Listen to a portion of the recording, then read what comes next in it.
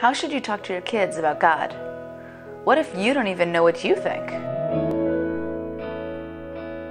When I was 13, I went to synagogue and I saw all these people standing up and sitting down and standing up and sitting down and standing up and sitting down. And it was Rosh Hashanah. And I opened up the prayer book and I saw all this stuff about Avinu, Malkeinu, our Father, our King. And I said to myself, you know what? This doesn't make any sense.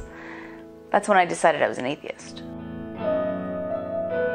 And then, my junior year of college, my mom died of cancer and maybe in grief or something, I was broken open because strange things started to happen.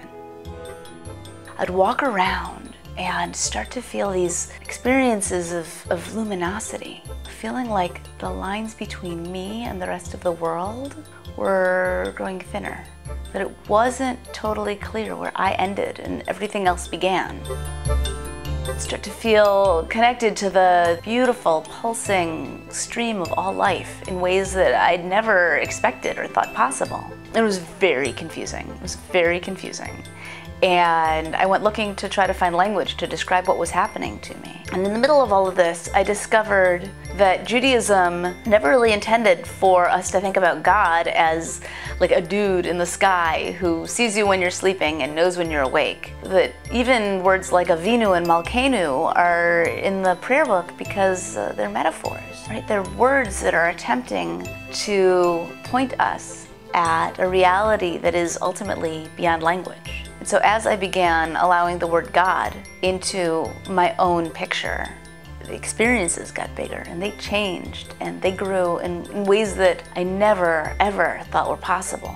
That's a little bit of my own story of my experiences with God. But ultimately, I don't know any better than you do what God is or isn't. I can just tell you what's happened to me and what I've come to believe as a result of that.